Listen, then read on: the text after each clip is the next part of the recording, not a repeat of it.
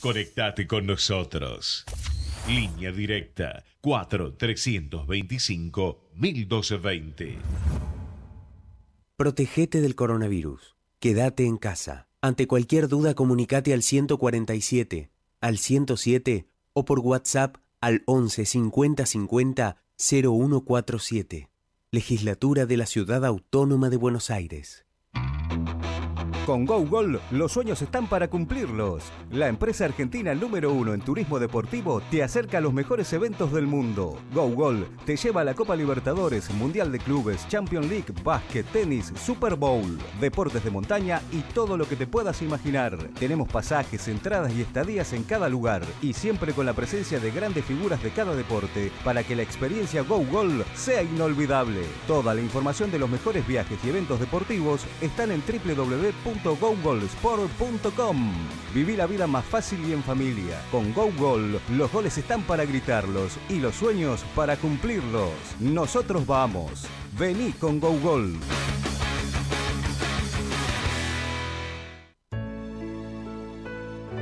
En Casa, la empresa argentina número uno de internación domiciliaria, desde hace casi 30 años cuida de niños y adultos con enfermedades crónicas y agudas en la calidez del hogar, con un plantel de más de 600 profesionales de distintas disciplinas. Nuestro sitio web internaciondomiciliaria.org. En Casa, siempre junto a la familia.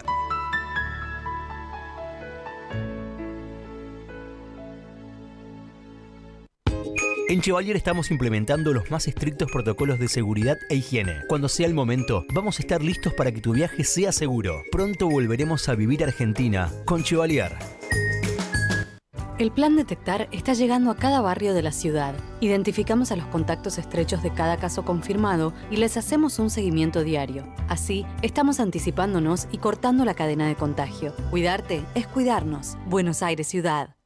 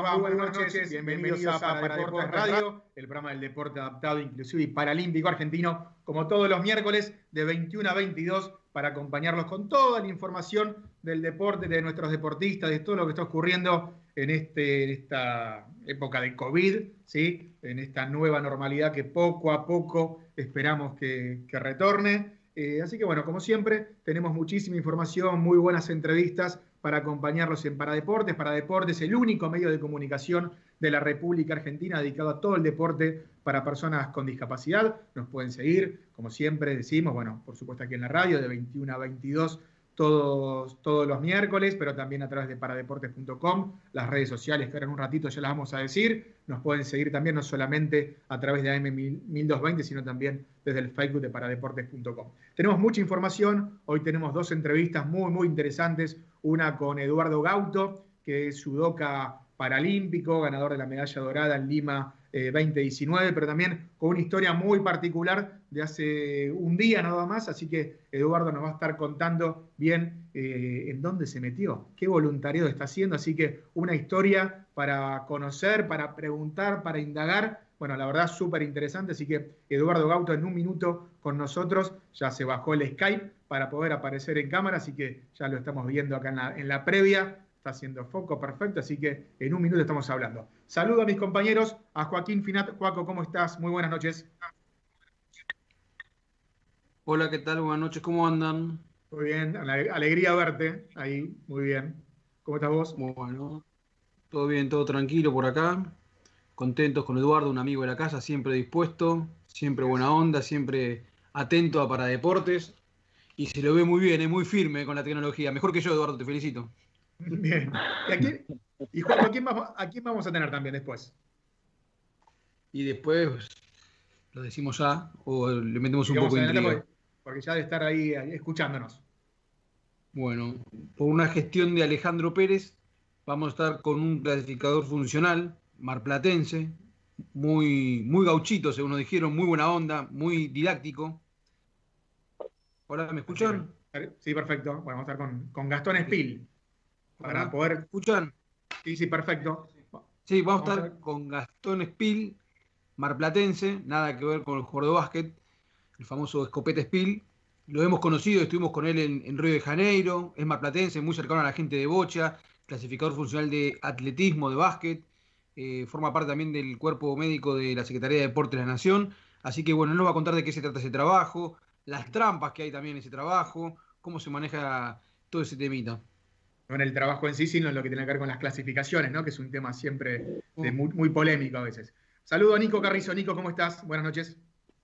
Buenas noches, Maxi. Eh, invitamos a toda la gente a que participe a través de nuestras redes sociales durante todo el programa. Estamos, como siempre, con arroba para deportes, eh, la cuenta de Instagram, arroba para deportes ok, la cuenta de Twitter y estamos en vivo transmitiendo por streaming, además de la cuenta de Ecolive de la radio, en nuestra fanpage de Facebook, paradeportes.com, así que esperamos comentarios por ahí.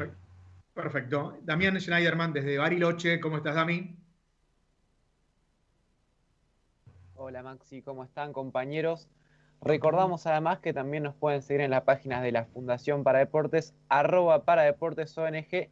Y si no llegás a ver el programa hoy, te tenés que ir, tenés que ir a comer, tenés que preparar la comida, o sabes de alguien que se lo perdió, lo vas a poder volver a vivir a partir de las 22.30 el programa completo de para Deportes en nuestra fanpage de Facebook paradeportes.com. Perfecto, ahí va a salir el alerta para todos aquellos que siguen la, fanpage y lo van a poder ver de nuevo y escuchar. Bueno, ahora sí, vamos a nuestro primer invitado, 21 10 de la noche. Eh, después seguiremos hablando de todos los temas que hay. Eh, tenemos desde Lanús, estamos en Lanús ahí, eh, vía, vía Skype, con Eduardo Gauto. Eduardo Gauto, judoka paralímpico, compitió en los Juegos Paralímpicos de Río de 2016, medallista, medalla dorada en la categoría hasta 66 kilos. Allí en Lima 2019 estuvimos presentes y tuvimos la oportunidad de sacar una foto impresionante de su salto ahí cuando le ganaba por hipón a Luis Pérez de, Puerto Rico. Así que imagino que esa foto la tiene Eduardo pegando un salto de alegría Así que, bueno, lo tenemos Eduardo no solamente para hablar de judo, ¿no? Un deporte complicado para volver en este momento porque es de contacto total, así que nos irá contando qué están haciendo todavía porque no volvieron a los entrenamientos, pero también Eduardo se ha transformado en voluntario de la vacuna contra el COVID. Entonces, vamos a hablar un poco de su historia y de paso de cómo surgió esta posibilidad y se metió en este mundo de los laboratorios para poder ser como él puso en sus historias de Instagram, un conejillo de indias. Eduardo, ¿cómo estás? Muy buenas noches, bienvenido una vez más a Para Deportes Radio. ¿Cómo estás, Maxi? Buenas noches, muchas gracias por, invitarme.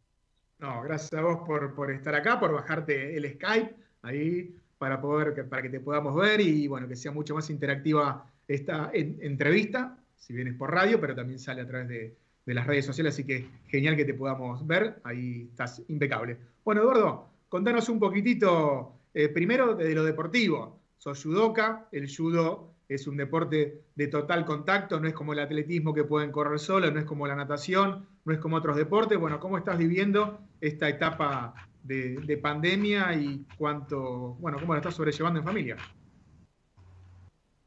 La verdad que complicado desde lo deportivo en cuanto a, volver a los entrenamientos en forma convencional, porque, como vos decís, es de extremo contacto.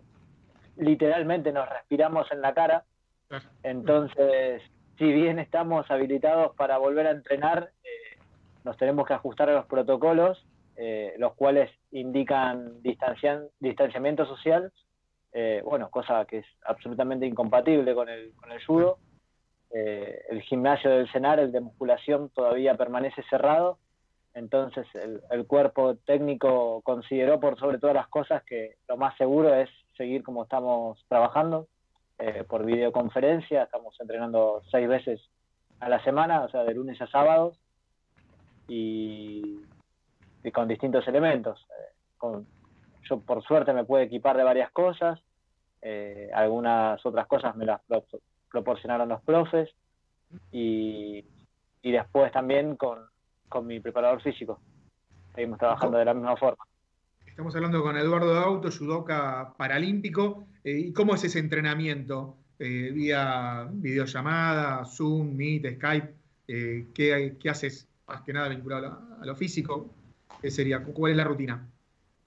Y tenemos, hacemos tres días de físico y tres días más técnicos.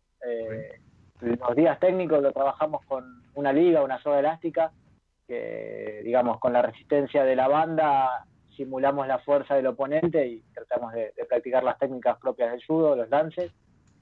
Y después otros tres días más físico, que sí, tratamos de hacer algún circuito eh, en cuanto a la resistencia, algo de pierna, algo de zona media y algo de tren superior. Eso lo vamos variando para hacerlo más divertido, más dinámico qué sé yo, hemos incorporado música, aquel que conocía la canción hace un ejercicio quizás más leve, el que no la conoce más difícil, lo vamos haciendo dinámico para que sea también divertido porque ya se cuesta arriba muchas veces seguir entrenando así.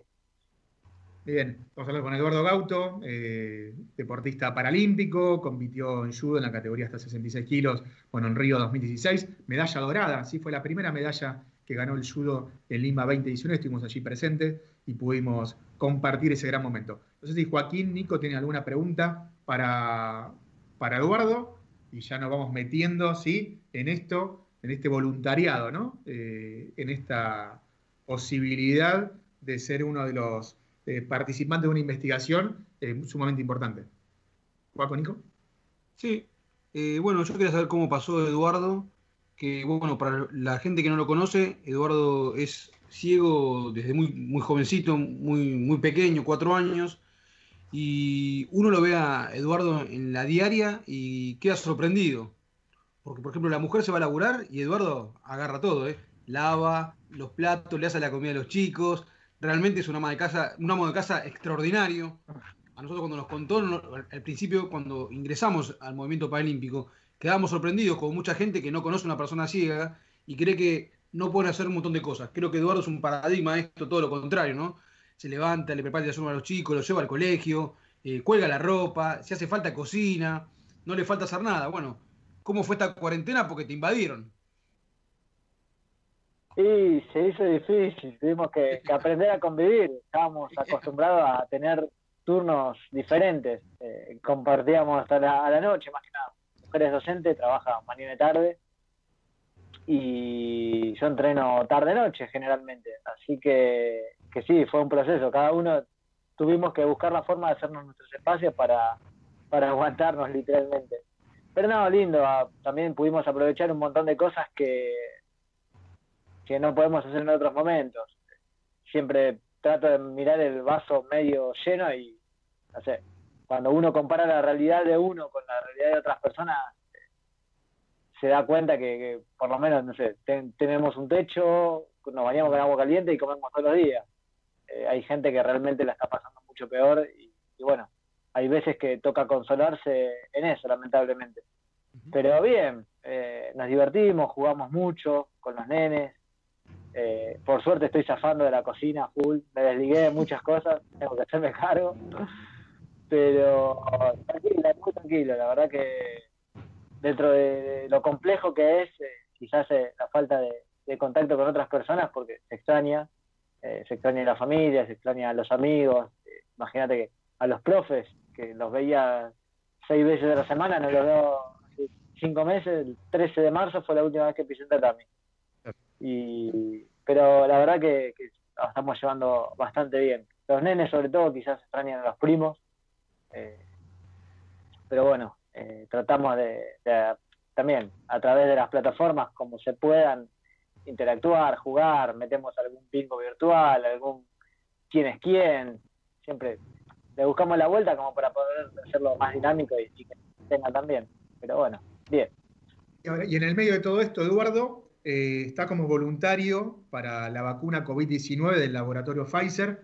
Eh, está en fase 3 de laboratorio y vos ya te diste la primera dosis. De, formás parte de una investigación que va a durar 24 meses. Bueno, primero, contanos cómo surgió esta posibilidad, cómo llegó a vos que eh, te llegue la propuesta de ser un voluntario de un tema tan, tan delicado. Bueno, ¿quién te lo acercó? ¿Por qué dijiste que sí? ¿Te da un temor? Eh, ¿Te resulta algo interesante poder experimentarlo? Bueno, contanos un poquito más en detalle cómo surgió esta posibilidad de ser un voluntario del laboratorio Pfizer para descubrir la, vacuna del COVID-19, contra el COVID-19. Surgió en realidad como, como todos los atletas, calculo que, que habrán tenido algún altibajo esta cuarentena. Eh, yo, venía muy, me sentía muy bien, venía con buenos resultados y me sentía muy preparado para los juegos y bueno, nos agarró la pandemia. Eh, o sea, si bien la sobrellevo, tuve algunos altibajos, más que nada emocionales, y me acuerdo que una noche me agarró un ataque de locura y dije, tengo que poner una solución a esto. Eh, listo, me contagio, genero anticuerpos y le damos para adelante o algo tengo que hacer. Justo en ese momento el novio de mi sobrina se había contagiado, lamentablemente, por suerte la, pudo sobrellevar de manera perfecta. Eh, y bueno, digo, me voy a tomar algo con él y que sea lo que Dios quiera, me aíslo y estamos. Y tengo una cuñada, en realidad es la cuñada de mi mujer, eh, que es terapista, es kinesióloga y es terapista. Y digo, bueno, le voy, a, le voy a consultar a ella, a ver qué opina. Y nada, cuando le pregunté me dio un tirón de oreja porque me dice, así como vi gente que lo vivió absolutamente normal, y familias que lamentablemente fallecieron. Entonces ahí medio que puse los pies sobre la tierra y me dice, ¿por qué no te anotás en todo caso como voluntario para las pruebas que están que van a hacer? La verdad que hasta ese momento no sabía. Automáticamente me puse a googlear, a buscar información eh, hasta que di con, el link donde había que inscribirse, eh, un mail, me anoté, completé el formulario y acto seguido me puse a redactar una carta de por qué necesitaba absolutamente ser eh, parte de, la investigación. ¿Y por qué? La verdad que primero con el ataque de, ser un poco, de, dar una solución a, mi cuestión de poder volver a entrenar, eh, quería desarrollar anticuerpos. Y después, a medida que fueron pasando los días y me fui sintetizando más eh, y fui aprendiendo más, me, fueron comentando, me fui instruyendo, eh, me parece algo grandioso, qué sé yo. Yo creo que al mundo tenemos que venir no solo a, comer y a dormir. y cuando uno empieza a tomar un poco de dimensión de que este proyecto lo, van a van a formar parte de 30.000 voluntarios en el mundo y, bueno, saber que podía llegar a ser uno eh, me pareció algo bastante importante, qué sé yo.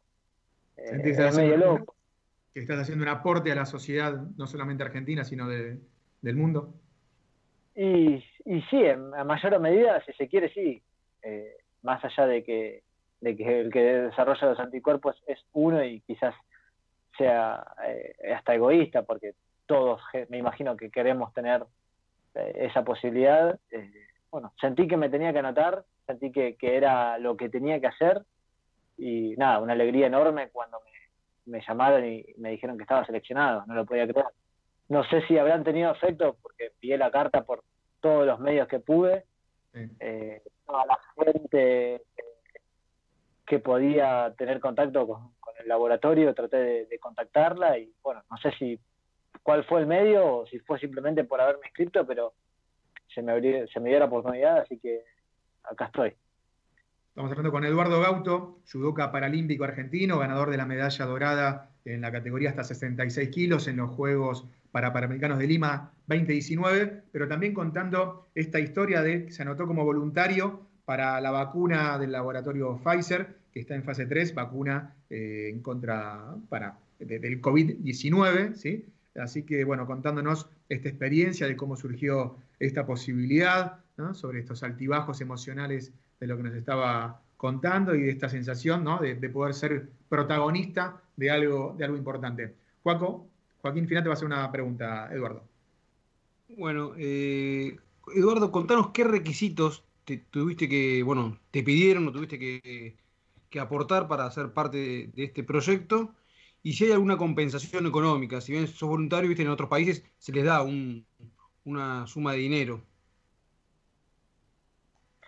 No, acá los requisitos eran ser mayor de, 18 años, entre 18 años y, 65, si no recuerdo mal la edad, eh, digamos, mayor, eh, ser una persona sana. Obviamente me evaluaron y me preguntaron acerca de, antecedentes de salud. Eh, la verdad que los cumplí a todos. Y no, es, es voluntario y es gratuito. No tengo que aportar nada ni tampoco me van a abonar nada.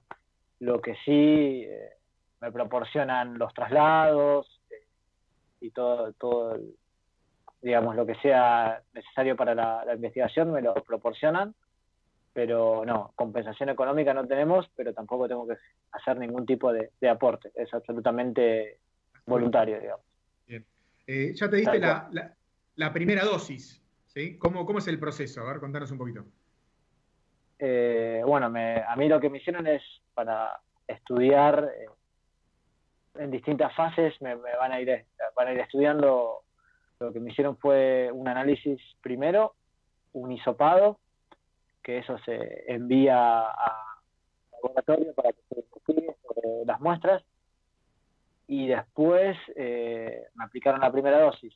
En realidad, de los 4.500 voluntarios aproximadamente que se seleccionaron eh, para formar parte de la investigación. La mitad recibe placebo, que es solución fisiológica, y la otra mitad eh, recibe los anticuerpos propiamente.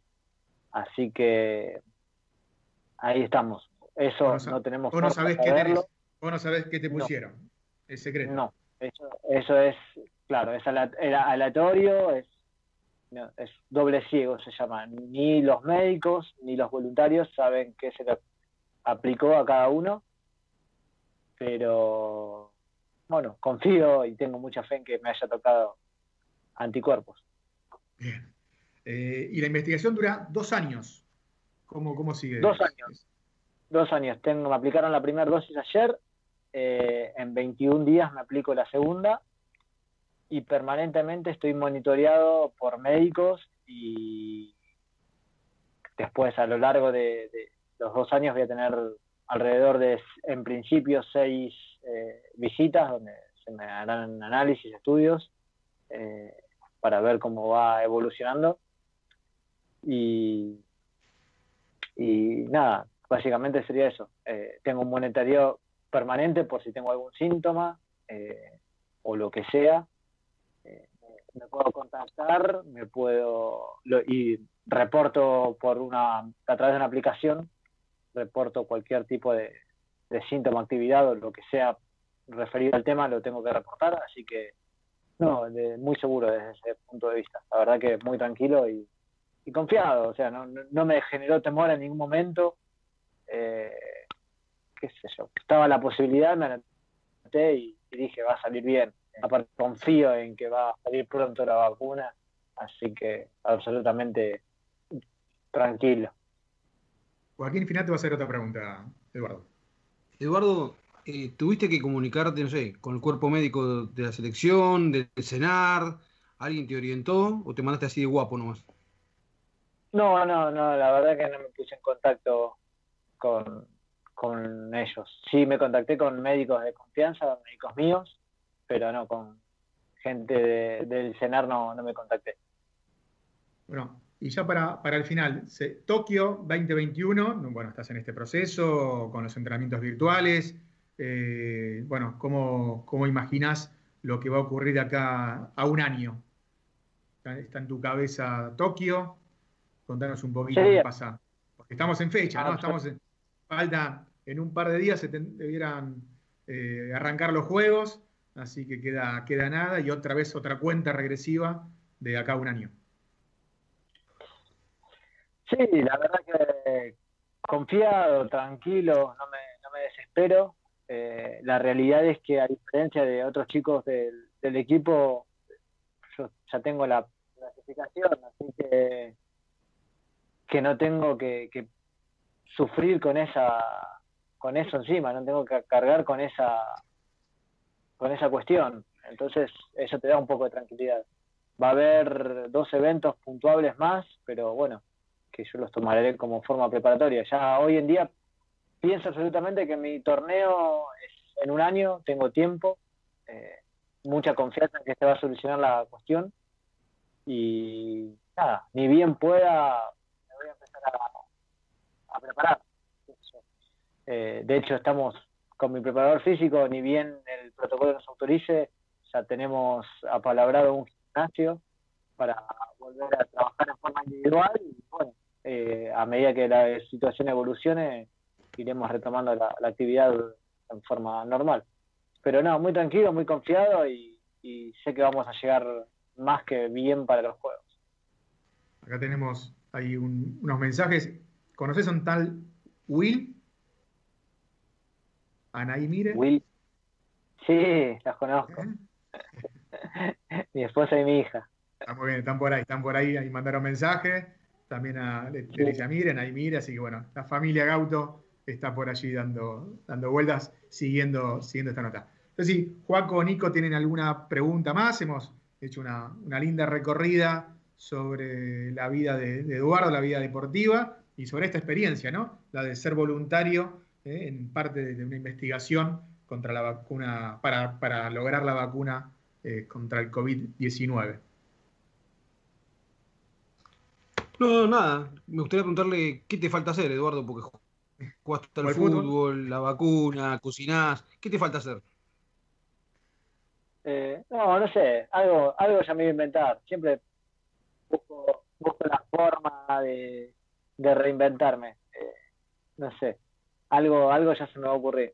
El otro día me agarró la locura de que tenía que ser policía administrativo, así que ¿Que tenía que ser qué no sé cosa? cómo. Policía administrativo. Tuvimos un, un evento, lamentablemente, y dije, yo tengo que redactar o tengo que ser abogado, algo tengo que hacer. Me voy a a estudiar algo. Está muy bien, siempre es bueno estudiar. Eduardo jugó para Boca en el partido que contra Fundación para Deportes en Cañuelas y te echaron. Te sacaron la roja, Eduardo, ¿no? ¿Te acordás? Sí, duré nada, duré nada.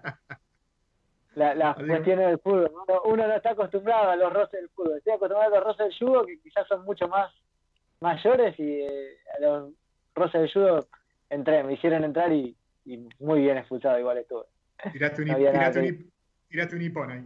Bueno, Eduardo. ¿Quién ganó ese partido? ¿Quién ¿Cómo? ganó ese partido? Para- Para deportes, 4-3, pero porque me echaron. Si no, los teníamos ahí, le íbamos ganando. Bueno, tremendo partido. Tres goles de Claudio Monzón y uno de Diego Serega. El primer gol de Diego Serega en su vida deportiva después de más de 20 años. Hoy actual entrenador de Fundación para Deportes. Y de paso le mandamos una- un gran abrazo a Claudio Monzón, Sí. ¿sí? bueno, que está pasando un momento delicado de salud, pero con mucha fortaleza y energía saliendo adelante. Así que a Claudio Monzón, que es nuestro goleador histórico, le mandamos también un, un fuerte abrazo de todo el equipo de Paradeportes y la Fundación Paradeportes. Edu, te Yo mandamos creo un que. Maxi, Sí, yo creo que le va a ir bien a Eduardo con el tema de la vacuna, porque si ya lo vacunó Cañuelas, otra más. Ya Así que acostumbrado, claro.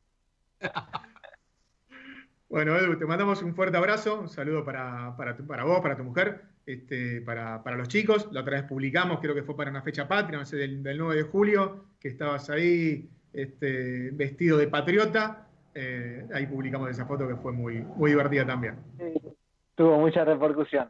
Así es. Así que bueno, eh, agradecerles a ustedes por el espacio, por invitarme siempre. Eh, Joaquín ahí que está siempre a, al pie del cañón, preguntándome, escribiéndome cómo, cómo venimos y todo. Así que impresionante. La verdad que los felicito por el trabajo que vienen haciendo porque eh, sin duda son el, el, medio que más difunde. Así que nada, eh, un gusto haber estado ahí acá con ustedes. Muchas gracias, Edu. Bueno, un saludo a vos, a Guillermo Traba, al entrenador, y a todo el equipo, ¿no? A Fabián Ramírez, Rocío Ledesma, Paula Gómez, Nadia Bollino, Laura González, Cristian Alderete, espero no olvidarme de nadie. Así que bueno, a todos ellos, porque la verdad que a todo el equipo también y la gente de FADEC, permanentemente a Daniel Hoffman, que siempre nos envía toda la información de todo lo que están haciendo, de cada uno de sus viajes, resultados. Así que enseguida Dani Hoffman ahí eh, nos envía, que ahora también está haciendo entrevistas a través de la fanpage de FADEC. Muy buenas las entrevistas, muy bueno lo que están haciendo. Así que, bueno, impecable el trabajo de Dani Hoffman ahí como jefe de prensa de la, de la federación. Eh, Edu, abrazo grande y muchísimas gracias por compartir este rato con todos nosotros. No, abrazo grande a ustedes.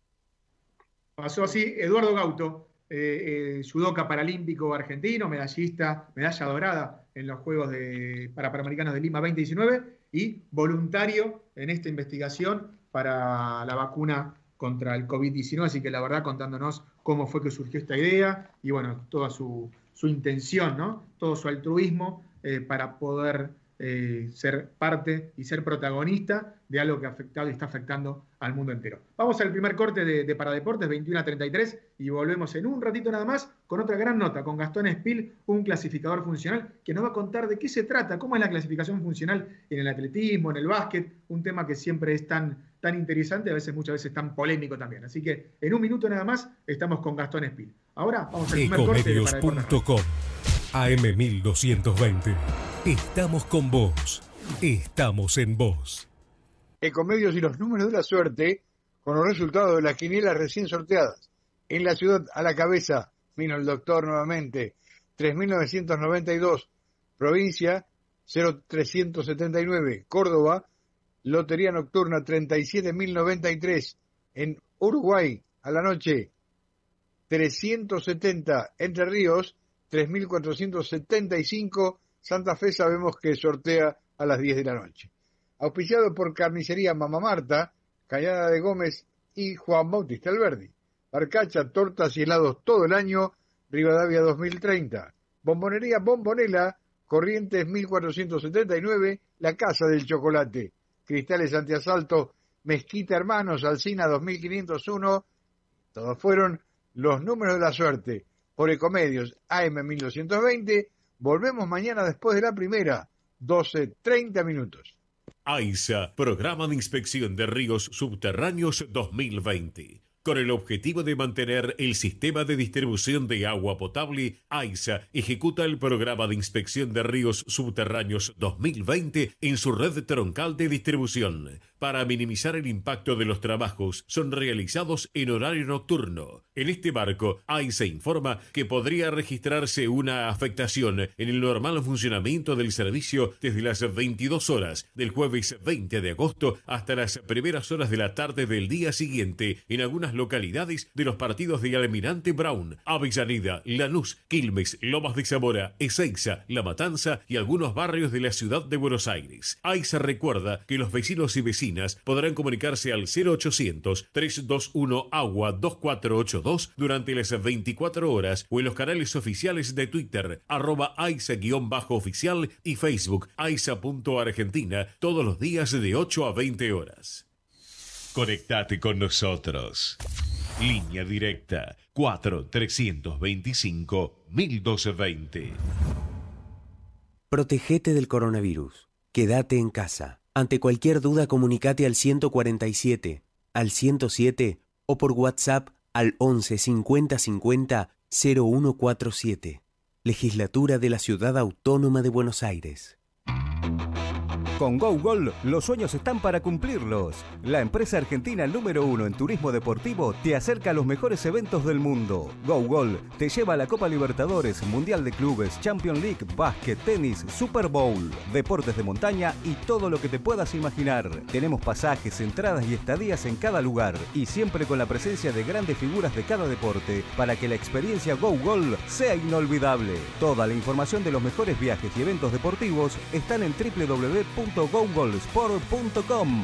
Viví la vida más fácil y en familia. Con GoGol, los goles están para gritarlos y los sueños para cumplirlos. Nosotros vamos. Vení con GoGol.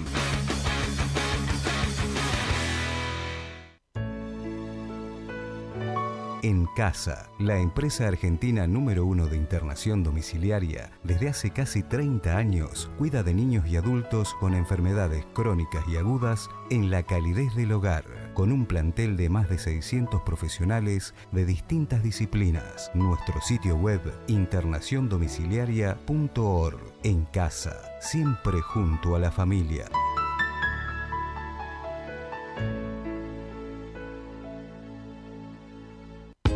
En Chevalier estamos implementando los más estrictos protocolos de seguridad e higiene. Cuando sea el momento, vamos a estar listos para que tu viaje sea seguro. Pronto volveremos a vivir Argentina con Chevalier.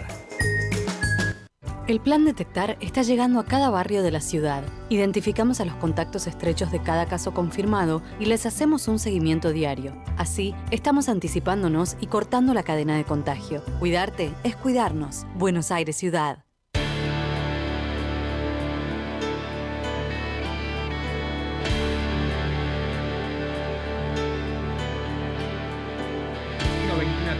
Nos pueden seguir, por supuesto, nos están siguiendo a través de AM1220 y desde la fanpage de Paradeportes, paradeportes.com y desde ecomedios.com. Así que desde la página web, eh, ahí, ahí, no sé, está con el ruido. Ahí vamos ahí escuchándose y todo el equipo periodístico, Nicolás Carrizo, Joaquín Finat, Damián Schneiderman, mi nombre es Maxi Nobili, para acompañarnos hasta las 22 con mucha información. Recién hablamos con Eduardo Gauto, eh, deportista paralímpico, judoka, contándonos su historia deportiva, pero también esto de ser voluntario de la vacuna eh, contra el COVID-19, así que súper interesante. El miércoles que viene eh, se estrena en Netflix la película Racing Phoenix, ¿sí? Ahí sobre la historia del deporte paralímpico, así que aquellos que tienen Netflix, eh, bueno, vamos a estar ahí pendientes para ver la película que va generando muchísimo interés, no solamente en Argentina, sino en todo el mundo, así que ahí estaremos presentes. Saludamos a Gerardo Subirana, nuestro operador, que está de vuelta, así que le mandamos un fuerte abrazo. También a Carlos Lugano, nuestro compañero de Paradeportes y de la Fundación. El agradecimiento, como siempre, a la gente de GoGol, la gente de En Casa, Facundo, y felicitas a Daro, también a la gente de Chevalier, Chevalier a Mauro Lagusta, le mandamos un fuerte abrazo y muchísimas gracias por, todo su acompañamiento siempre. Eh, bueno, hoy la gente de GoGol eh, hizo junto con Juan Martín Rinaldi un Instagram Live con Martina Dominici gimnasta argentina, así que la verdad que salió súper bien a toda la gente de GoGol, que ya está preparando el viaje para Tokio 2021. Para todos ellos, a Mariano Morazani y a todo su equipo, les mandamos un fuerte abrazo. Habíamos dicho al principio del programa y también lo anunciamos en la previa de las redes, que así como habíamos hablado con Eduardo Gauto, teníamos otro gran invitado que es Gastón Espil, ¿sí? con Gastón Espil, kinesiólogo que trabaja en el Instituto Nacional de Rehabilitación Psicofísica, ¿sí? ahí creo que dije bien, del sur, ahí en Inar, Inares, Inareps, Inareps, ¿está bien ahí? Gastón, me vas a corregir. Eh, kinesiólogo, evaluador funcional, trabaja en la, en la Secretaría de Deportes de la Nación también, participa del curso de formación de evaluadores funcionales deportivos nacionales, así que ¿está Gastón enganchado? Solo quiero chequear eso. ¿Me avisan ahí? A ver, ¿lo tenemos a Gastón? No sé si lo tenemos. Pero bueno, mientras tanto, ahí, Nico, tenías una información. Sí, si querés repasamos mientras tanto lo que contamos la semana pasada de tenis, que tiene que ver con Gustavo Fernández, porque hoy mismo él se encargó de confirmar lo que dijimos la semana pasada. Va a estar en el US Open y también en Roland Garros. En el medio confirmó dos torneos de previa del Campeonato de París. Va a ser entonces abierto de Estados Unidos, Ile de Rennes Francia, Niza en Francia y cierra en París con Roland Garros. Confirmada la agenda de Gustavo y vuelve entonces el tenis adaptado internacional en septiembre.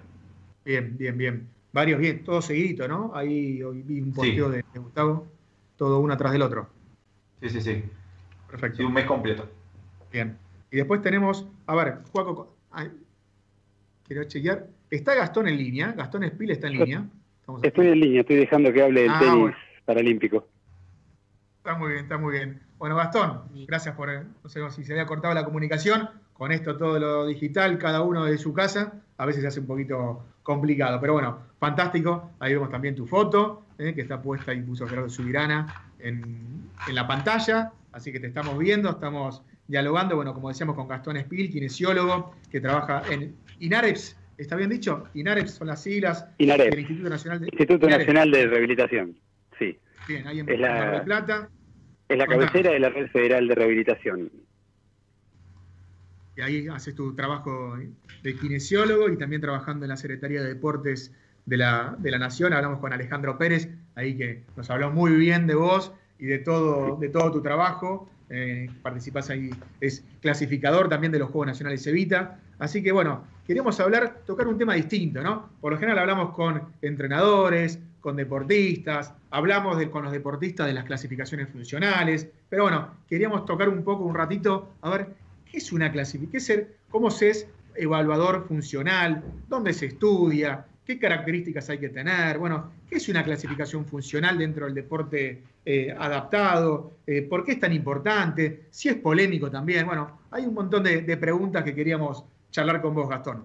Entonces, ¿Cuántas ¿qué es ser un evaluador dónde- funcional? Claro, ¿por dónde arranco? Eh, Por ahí, vamos por- la por lo general. De la, claro, la, la idea de clasificar en la, en la funcionalidad tiene o, o retoma la idea de eh, una idea mundial que la OMS plantea, que es la clasificación internacional de funcionalidad, que es como si fuera, imaginen un manual en donde se plantea cómo la función se ve afectada en diferentes áreas de la vida. Y eso lo toma el deporte y plantea que no es la lesión la causa de lo que te convierte en un atleta paralímpico, sino la afección en la función específica. Eh, para correr tiene que haber algún tipo de afección específica, que no es la misma que para nadar. Seguramente muchas coinciden, pero muchas, muchas no. Para jugar al básquet, que a mí me falte eh, quizás la mano, no sería eh, un determinante como si me faltara el pie. Digo, hay razones que explican que haya atletas en algunos deportes, pero que en otros no puedan participar. Y es, como vos decís, más que polémico, es confuso para quien no entiende la idea de por qué esta persona que tiene una clara afección no puede participar en todos los deportes paralímpicos. Bueno, porque cada deporte tiene su reglamento y todos están bajo ese paraguas que se llama IPC, el Comité Paralímpico Internacional, que es quien dicta las leyes generales y que después cada federación lo adapta dentro de, de esas reglas generales a, a lo que buscan. Por ejemplo, el atletismo no busca lo mismo que el básquet y por eso cada cual lo va adaptando. ¿Qué es clasificar? La idea de lo que preguntabas es minimizar el impacto del, del tipo de afección elegible sobre el resultado de la competencia. Entonces, ¿qué buscamos? Que el deportista que tenga éxito sea el que disponga de la mejor antropometría, la fisiología, la psicología, los que hayan mejorado sus marcas. Todo lo mismo que podemos decir en el deporte tradicional ocurre acá. Van a ganar los que mejor el resultado logren con lo que tienen. La clasificación es ver si lo que tienen es suficiente para que sean atletas olímpicos o no. Y la segunda parte de la clasificación, que si se quiere son dos grandes partes, en el atletismo estoy hablando, ¿no? Eh, no, y, esto lo, lo hago extensivo. En general, el IPC plantea que haya una clasificación eh, en, en camilla, vamos a decirlo en estos términos, una clasificación después eh, en el gesto motor esperado para ese deporte y finalmente la observación en campo. ¿Por qué en camilla? Porque si no pasa por el primer filtro, no avanza. Ahora, si el atleta es elegible, y yo les voy a dar el ejemplo de una persona que tiene una, una lesión eh, en la médula espinal. Entonces, esta persona realmente tiene abolido una cierta función y se considera que es elegible por algunos, esto que yo decía recién, criterios de elegibilidad. Después se observa, haciendo el gesto deportivo, si esta función está muy abolida, un poco, apenas, y después de eso se va a la pista, si siguen habiendo dudas en el equipo clasificador, en el comité, y se le observa en competencia. Y ahí se define eh, cuál es su categoría. Las categorías son según estatus, que es un deportista nuevo, un deportista clasificado definitivo, eh, un deportista con una R de review para revisar de vuelta en la siguiente competencia, y cuando ya están esos estatus se dice que la clase deportiva, que le llamamos en atletismo con un número, es la que lo define para la competencia. Bien, entonces, tenemos por un lado la importancia de la clasificación funcional es que cada deportista esté en, en la categoría acorde a su capacidad y a su funcionalidad para que también la competencia sea pareja, ¿verdad? Ese es el, objetivo principal, ¿no? Buscar, porque en el fondo también tenemos que poner todo bajo, eh, eh, bajo un sistema. En el capitalismo donde la competencia es un producto que se vende, hay que entender que si es muy desparejo, no vende. ¿sí? La idea eh, es que sea lo más parejo posible para que pueda generarse una inquietud. ¿Quién va a ganar? ¿Quién puede ganar? Y pueden ganar varios, incluso para los mismos atletas. A mí no me gustaría correr 100 metros con Usain Bolt porque ya sabemos todo antes de arrancar. No es encantador eh, ese tipo de, de, pruebas. En el caso, por ejemplo, ¿no? Vamos a, algunos deportes que donde la clasificación funcional es, clara. Hablabas del básquet, vos sos clasificador también del básquet. Para la gente, o sea, también podemos decir que es una especie de handicap, ¿no? Para, para un, número que tiene cada jugador. En el caso del básquet, va de 1 a 4 y medio. 1, 1 y medio, 2, 2 y medio, 3, 3 y medio, 4, 4 y medio. Y como siempre decimos, a mayor grado de discapacidad, menor es el número de clasificación funcional. Por ejemplo, tenemos a Gustavo Villafañe, jugador de la selección argentina de básquet, que él es triple amputado, solo tiene eh, uno de sus brazos. Y él, eh, dentro de esa clasificación, es uno, o sea, tiene un, punto de clasificación. Pero después hay, y corregime Gastón por favor, hay jugadores que caminan, ¿sí? pero que solamente, o sea, que tienen alguna dificultad para trasladarse, que no pueden jugar eh, en, el, en, el básquet convencional, ¿sí? por lo menos al nivel de un, del básquet convencional, lo tienen que hacer en la silla porque el básquet es en la silla, pero tal vez su clasificación es 4.5, ¿sí? Y entonces ahí los clasificadores funcionales son los que van marcando qué número le corresponde a cada jugador, porque en cancha esa sumatoria no puede dar más de 14. Eh, corregime, por favor, si. No, no, no te, corrijo. Fuiste claro. Eh, pensaba igual cuando decías que para ejemplificar está perfecto. Un punto es la mayor afección o la menor funcionalidad, la de Gustavo Villafañe, un solo brazo, el resto no, no, no funcionaría. Y en el otro extremo, cualquiera de nosotros a quien se le amputa medio pie, por dar un ejemplo. Entonces, nos sentaríamos, ah, digo cualquiera de nosotros asumiendo una cierta normalidad que no existe, pero para que se entienda la idea con la media, ¿no?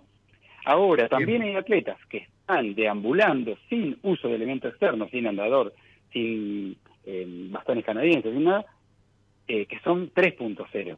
Y ahí es cuando se empieza a complejizar. Pero ¿cómo? Este camina y es 3. Y no es tres y medio, no es 4, no es 4 y medio. Bueno, porque lo que define la clasificación en última instancia es la competencia. Es en campo, es ver cómo funciona en el elemento, en el caso del básquet, la silla de rueda, o en el atletismo en la pista o en, o en el campo. Lo que, lo que es importante entonces es diferenciar esto. Una cosa es cuál es la clase deportiva, el clasificador hace dos grandes cosas. En primer lugar, definir si es elegible o no. En el atletismo se ve mucho más que en el básquet. El básquet se está adaptando a este sistema por unas cuestiones internas del básquet, de las federaciones ¿no? y del Comité Paralímpico. Pero en el atletismo hace mucho que funciona de esta manera y funciona muy bien nosotros primero elegimos, no nosotros, sino el reglamento, y bajo el reglamento nosotros determinamos si el atleta puede o no competir en el, sistema paralímpico, ¿sí? Porque puede aparentar una lesión muy, muy clara pero que no es suficiente para ser elegido. El mejor ejemplo que me viene ahora es una persona de baja estatura. Es eh, mi abuela, que era muy bajita, muy bajita. Pero no medía ese metro cuarenta, por dar un ejemplo, ni tenía una envergadura suficiente para que la suma de brazo más la altura le dé dos metros. Por dar un ejemplo de número, digo, ser bajito no es suficiente. Para baja estatura paralímpica tiene que cumplir con tres requisitos puntuales. No cualquier persona de baja estatura es elegible. Y así como en baja estatura, en lesiones del sistema nervioso central, en lesiones de la médula, hay un montón de afecciones que pueden aparentar elegibilidad, pero no lo son.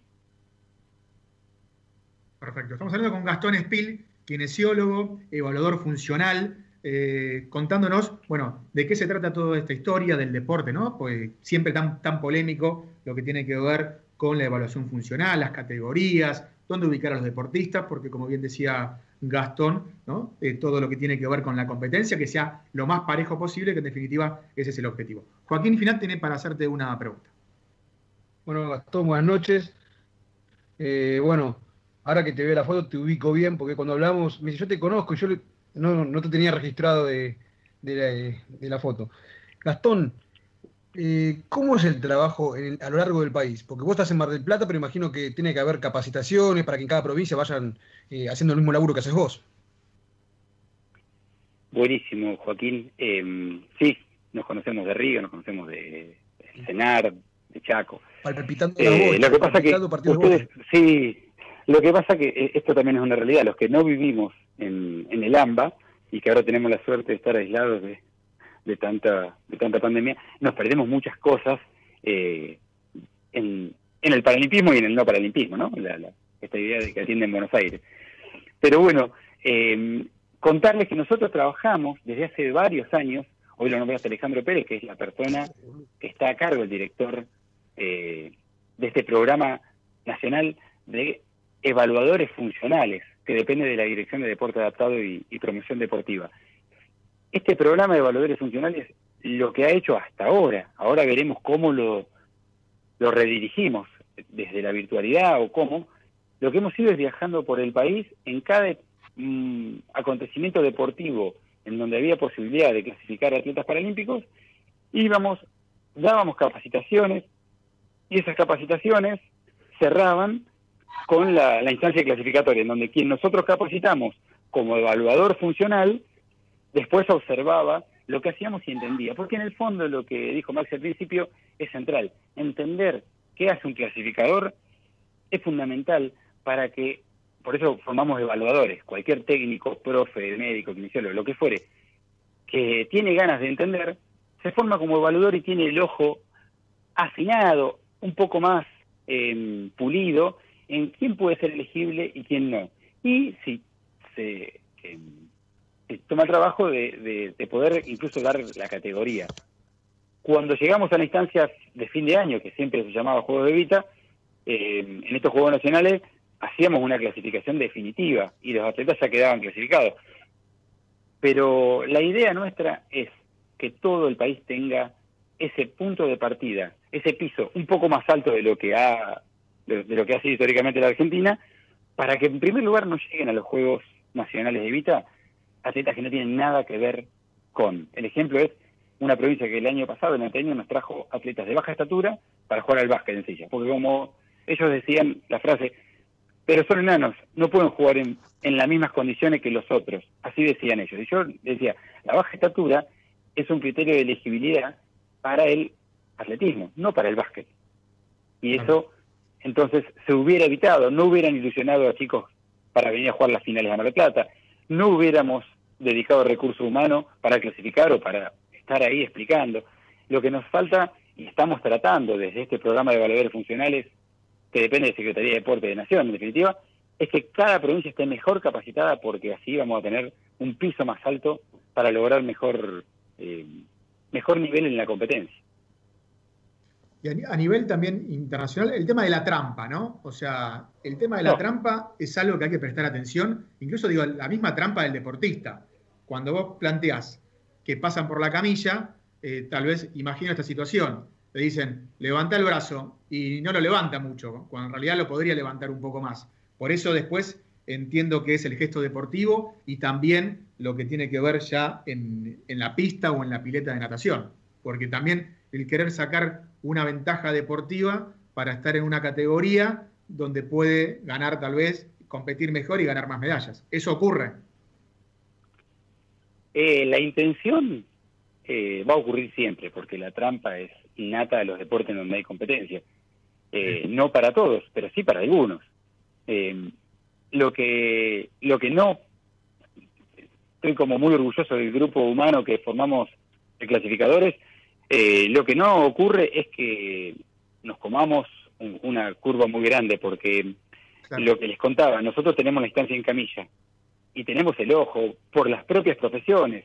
Habemos médicos, kinesiólogos, eh, que, tenemos además la, la, expertise de, la formación y el recorrido en donde vamos viendo que esto no mueve el brazo, como vos decís, no lo mueve, perfecto, no lo mueve, no lo mueve. Bueno, anotamos al lado que hay una sospechosa eh, falta de voluntad de mover, pero no pasa nada, lo dejamos pasar a la instancia siguiente, tratar de tirar la bala. No puede, no puede. Perfecto. Vamos a la competencia. Si la competencia larga y tira la bala o rema la silla, como no lo hizo durante la instancia 1 y, la, etapa 2, camilla y, observación eh, con el elemento, ya queda descalificado. Y no solo queda descalificado, sino que queda con una marca que no es la marca del atleta revisable. El revisable es el que tenemos dudas si es, por decir, categoría 36 o 37, eh, hay 34 y 33. Esas categorías que nos dan muchas dudas, porque las lesiones del sistema nervioso central dan muchas dudas, o algunas lesiones medulares, pero nos pasa mucho menos.